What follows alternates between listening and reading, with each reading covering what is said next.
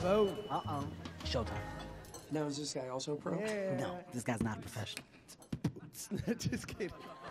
Just kidding. The moment Chris asked me to be his best man, I sat down and I wrote a pretty awesome speech. I don't know. I think I'd, uh, I think I'd rather speak from the heart. Oh, don't do that. Don't you rip that paper up. You never do that. Uh, you know, when Chris and I first met, we, um, uh, well, Chris and I um, have known each other since, uh,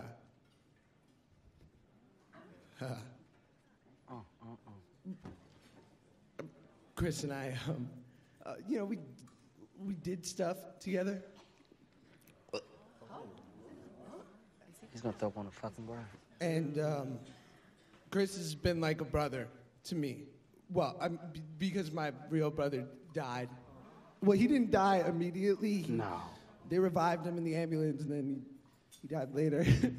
uh, Adolf Hitler once said Holy fucking shit. that. Jesus Oh, God, I'm just gonna. There was this one thing I wanted to reference. You know what? Fuck it. Wolverines, brother. I love you. Thank you. That's not even the right one. It's not an exit. Okay, one, two. Ain't no mountain high You okay? Yeah.